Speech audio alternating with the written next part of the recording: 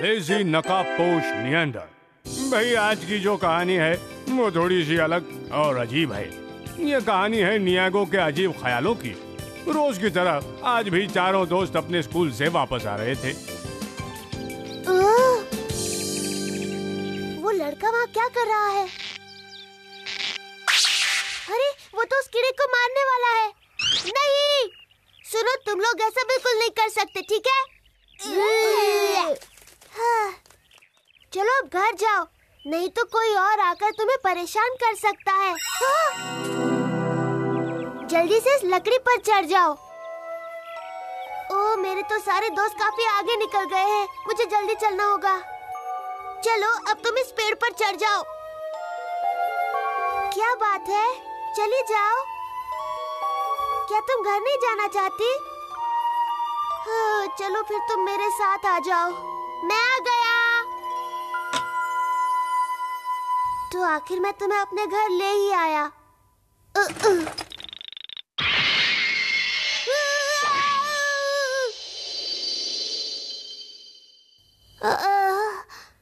पता नहीं क्यों पर मुझे बहुत नींद आ रही है। मुझे माफ़ करना। हाँ? मुझे लगा कि मैं दब जाऊँगी। अब ये कौन बोला? कहाँ से आवाज़ आ रही है? यहाँ यहाँ पर। तुम्हारे सामने। हाँ? लेकिन वहाँ तो कीड़े के अलावा कोई नहीं है। हाँ मैं वही तो मुझे पता नहीं था कीड़े बात भी करते हैं, लेकिन मैं कर सकती हूँ। और हो हो, सर तो मुझे सुस्त कीड़ा कहकर बुलाते हैं। क्या कहा, सुस्त कीड़ा? अब मुझे भूख लगी है। क्या तुम मेरे लिए पत्ता गोभी ला सकते हो? बोलो, पत्ता गोभी?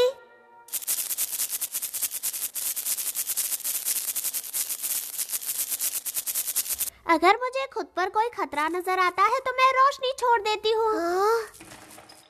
और अगर वो रोशनी किसी पर पड़ जाए तो उसे बहुत सुस्ती हो जाती है और उसका कुछ भी करने को मन नहीं करता है।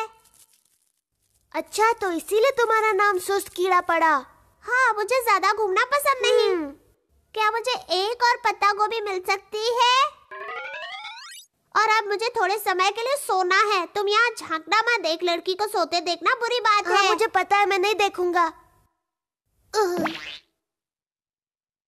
मुझे अपना होमवर्क भी करना है। अच्छा छोड़ो बाद में कर लूँगा। लगता है कोई मदद के लिए बुला रहा है लेकिन मैं उठ ही नहीं पा रहा हूँ। बहुत सुस्ती महसूस हो रही है। आज नकाबपोश नियंडर छुट्टी पर है। कर भी तुम नगापोश नियंडर को नहीं बुलाओगी। मैं महान नियॉन तुम्हें यहाँ से बचाऊँगा। कौन? बहुत बहुत शुक्रिया। हाँ आज नगापोश नियंडर को क्या हुआ? वो कहाँ है? सिर्फ़ पिदोरी अकेला ही बचाने आया है। पर नियंडर नहीं आया ये तो बहुत ही अजीब बात है।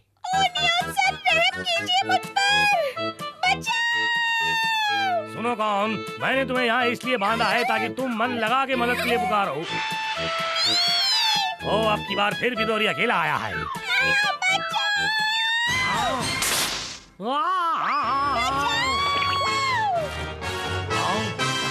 कौन मुझे माफ़ करना मुझे नहीं पता था कि रस्सी टूट जाएगी। चुप रहो तुम बहुत शोर करते हो। हाँ। हाँ मैं बिल्कुल सही था। आज नकाबपोश नियंटर के साथ ज़रूर कुछ गड़बड़ हुई है। या मेरी किस्मत में लिखा है कि मैं आज मशहूर हो जाऊँगा। हाँ, हाँ, हाँ। आपका खाना तैयार है। मुझे नहीं चाहिए मन नहीं है। मॉम भैया को खाना नहीं खाना। उसकी तबीयत तो ठीक है ना? कहीं ऐसा तो नहीं उसे सर्दी हो गई है? कुछ समझ में नहीं आ रहा मुझे क्या हो गया है। मुझे पता है तुम ऐसा कुछ नहीं कर रहे हो पर फिर भी अगर कोई ऐसी अजीब हरकत करोगे तो पता चल जाएगा। मैं तो कोई अजीब हरकत नहीं कर रहा। मुझे एक बात तो बताओ क्या तुम नकाबपोश नियंडर हो क्या? तो, तो तुम्हें ऐसा क्यों लगता है? बस ऐसे ही मुझे ऐसा लगा असल में तुम बहुत बहुत अच्छे हो। इसीलिए मुझे लगा कि कोई बचा कोई है? कोई मेरे बच्चे को बचाओ इंतज़ार करवाने के लिए माफ़ी चाहता हूँ मैडम मैं महान नियॉन तुम्हारे बच्चे को बचाऊँगा और इस शहर में मशहूर हो जाऊँगा लो आ गया मेरा मारू बचाओ तो उस समय मेरा मारू ने उस बच्चे की मदद की पर हम सब सोच रहे हैं कि आखिर अचानक नकाबपोश नियंडर को क्या हो गया नकाबपोश नियंडर तुम उस बच्चे की मदद के लिए क्यों नहीं आए? तो आज का हमारा स्पेशल प्रोग्राम जिसका नाम था नकाबपोश नियंडर आखिर मदद के लिए क्यों नहीं आया यही खत्म होता है। और अब वक्त है इस हफ़्ते की मशहूर आखिर वो वक्त आ ही गया जब मेरी मेहनत रंग लाएगी कौन? तो इस हफ़्ते नंबर वन की पोजीशन पर है मिराय मारू जिसने उस बच्चे को पहने से बचाया। लेकिन नियंडर ने अपनी नंबर वन की पोजीशन खो दी। है ये बिल्कुल ठीक है। भी वहाँ मदद के लिए आया और मुसीबत खड़ी कर दी उसे कोई रैंकिंग नहीं मिलेगी। बकवास है? बेचारे नियॉन सर मैं आपकी तकलीफ़ समझ सकती हूँ। मैं लड़ाई इतनी आसानी से नहीं हारने वाला आप वाकई बहुत हिम्मत वाले सर हेलो दोस्तों मेरी बात ध्यान से सुनो। अब आ गया है शांति और सुरक्षा का रखवाला। अब से नकाबपोश नियंत्रण की जगह मैं शांति और कानून का ख्याल रखूँगा। इस बेवकूफ़ को क्या हो गया है? ये इस तरह क्या बकवास किया जा रहा है? और इसने तो हमारे बड़े भाई ही ही मानतो की भी इजाज़त नहीं ली है। क्या कहा? राजा ही ही मानतो की इजाज़त के बिना ही वो बेवकूफ़ नियॉन ये सब कर रहा है हाँ बड़े भैया और वो इस कैट टाउन को ही अपनी संपत्ति बनाना चाहता है कमा कमा अच्छा नकाबपोश नियंडर के समय तो मैंने ध्यान नहीं दिया था अब मैं उस बेवकूफ़ नियॉन को अच्छा सबक सिखाऊँगा मैं उसे अपने आग के गोलों की ताकत दिखाऊँगा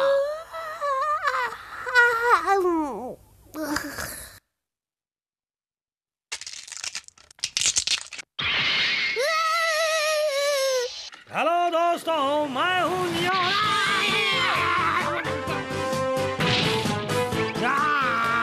बेवकूफ़ कहीं के। तुम मेरी सड़कों पर क्या कर रहे हो? इन सड़कों पर क्या तुम्हारा नाम लिखा है? हाँ यहाँ पर मेरे बड़े भैया का नाम लिखा है समझे? अगर तुम यहाँ से इसी वक्त नहीं भागे तो मैं तुम पर आग के गोलों की बारिश कर दूँगा। तुम मुझे परेशान मत करो। तुम ये क्या बकवास कर रहे हो? देखा नेऑन के पानी के पाइप का कमाल। ठीक है अब ये लो आग का गोला।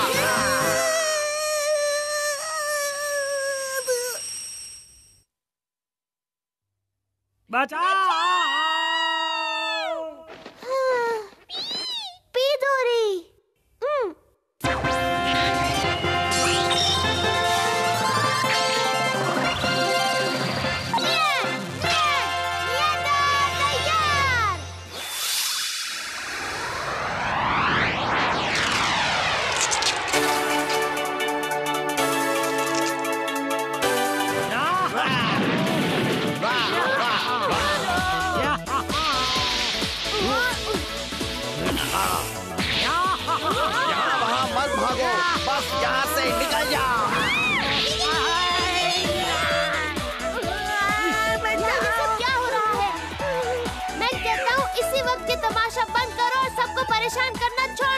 चुप हो जाओ।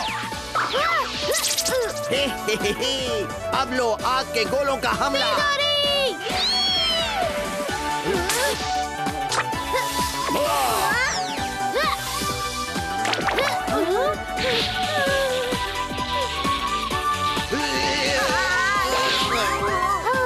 शुक्र है मैं सही वक्त पर आ गया। आओ नहीं तुम सही समय पर अब भी नहीं पहुँचे। दोस्तों पानी बर्बाद नहीं करना चाहिए। चुप हो जाओ। मेरे मामले में तुम इस तरह टांग मत अड़ाओ तुम अपने आप को समझते क्या हो? नकाबपोश नियंडर वहाँ से चले जाओ। बाकी सब मुझ पर छोड़। दो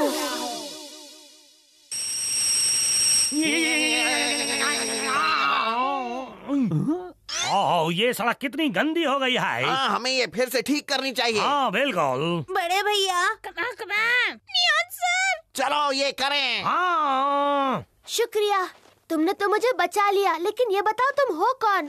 मेरा नाम हटारा है और जब मैं छोटी थी मैं सुस्त कीड़े के नाम से जानी जाती थी और उस वक्त एक प्यारे लड़के ने मुझे बचाया था। और उसके बदले मैंने तुम्हारी मदद की है नकाब पोश नियंडर अच्छा मैं समझ गया। अब मुझे वापस जंगल जाना चाहिए। बाय बाय अगर तुम अच्छी चीज़ें करो और किसी को भी नुकसान न पहुंचाओ तो तुम्हारे साथ हमेशा अच्छा ही होगा। समझ गए? तो इस तरह वो सुस्त कैटरपिलर एक सुंदर तितली बन गई और उसका नाम हटारा पड़ गया। और वो अपनी रोशनी अगर किसी पर छोड़े तो वो इंसान अचानक काम करने लगता है।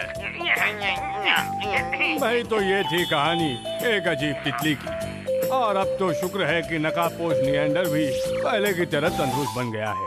तो दोस्तों, हम आपसे फिर मिलेंगे एक नए और एक्साइटिंग एपिसोड में। तब तक के लिए बाय बाय